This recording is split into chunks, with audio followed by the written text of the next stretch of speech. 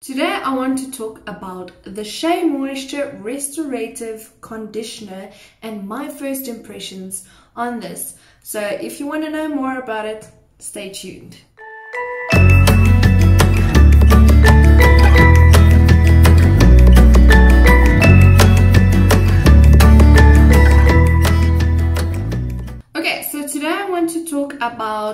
The Shea Moisture Conditioner. Okay, it's the Raw Shea Butter range. It is a restorative conditioner with sea kelp and argan oil. It's said to moisturize and fortify, I hope I said that right, damaged transitioning hair. And as you guys know, I am transitioning. I think it's only been a month and a half, maybe a bit more. So let's say around about two months that I've been embracing my curls and it's been amazing.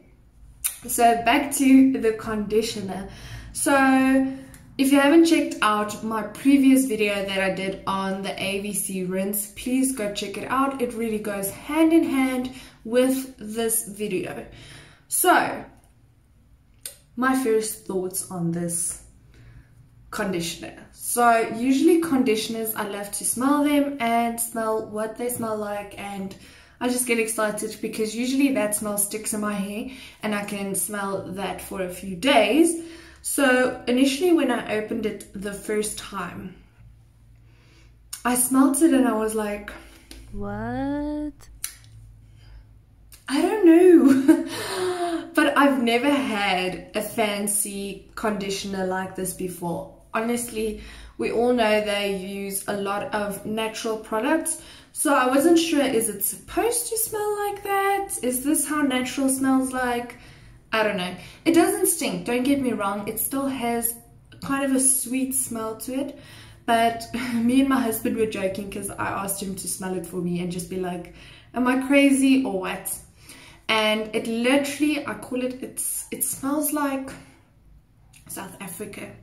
I know that sounds weird, but it smells like Africa. I don't know, it smells earthy, it smells like grass, it smells naturey. I don't know, it still doesn't stink, but it just smells like you're going on a holiday at a lodge, you know, maybe in a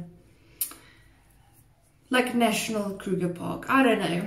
I don't know how to explain it. It just smells like that. So it does smell very natural like. So that is also a good sign for me because they do use natural products. So it just shows they don't add any other weird type of fragrances to it to make it smell like something it's not. Also, I did some research and shea butter is from a nut and that is also why it smells like it. So once again, don't get the wrong impression. It does smell nice, but if you are used to, like me, just your normal cheap 60 bucks, max 80 bucks conditioner, then it does have a different type of smell, but you will definitely get used to it. Also, what I absolutely love about it, it is a little bit more on the price point, but it is worth it. If you guys can see here, like, it is, it is so thick. Like, it is not even moving and I'm squeezing it. It is so thick. So that just shows to me I am really not wasting my money. So it is still the same because I do use a little bit less usually when I still used cheap conditioners, anything I could find. I would literally take my hand and just fill it up with conditioner. But now with this one, I really felt like I didn't need that much. And I must say, it worked. My hair feels so so so soft. I don't know if you guys can see this but it feels so soft. For blonde hair i mean it is just amazing. So i must say that it is really one of my favorites.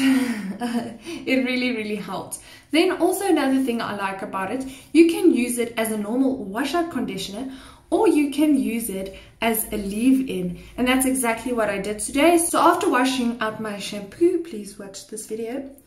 I used this conditioner and I squished to condition in the shower and I still rinsed it out. Then after I rinsed it out, I just put two of the pumps, I pumped it twice, into my hand and I put it into my soaking wet hair just to make sure it there's not too much conditioner left in my hair. So some of the water just still runs out but that's how I used it as a leave-in today. And like I said my hair is feeling so so soft and it really really did it for me. So I am absolutely in love with it so just a few facts about this conditioner it is Curly Girl method approved, so you can use it if you are following the Curly Girl method. Then let's read here on the side. Here's a few things about them.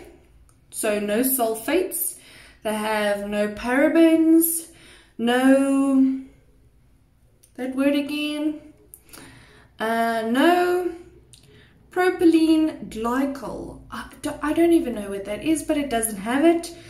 No mineral oil, no animal testing, and no petrolatum. I'm not even sure if I'm saying that right.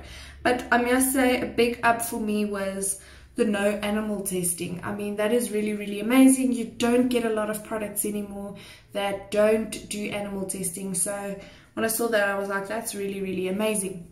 So overall, my thoughts on this conditioner is I would definitely use it again and again and again and again. It is great for my transitioning hair. Like it said on the bottle, it is for transitioning hair. It is absolutely amazing.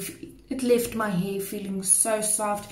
Even with the leave-in, it was really, really amazing. So I would definitely recommend this product. So let me know down in the comments below if you have ever used a Shea Moisture Conditioner or if you're using this exact same one and what your thoughts are on it. Thank you so much for watching this video. I really appreciate all the support and love you guys have been giving me. If you don't, haven't done so already, please hit that subscribe button and give this video a thumbs up for more curly hair videos.